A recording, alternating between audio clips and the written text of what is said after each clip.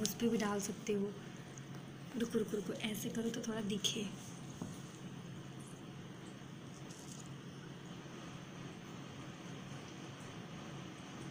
Video ना बनाओ।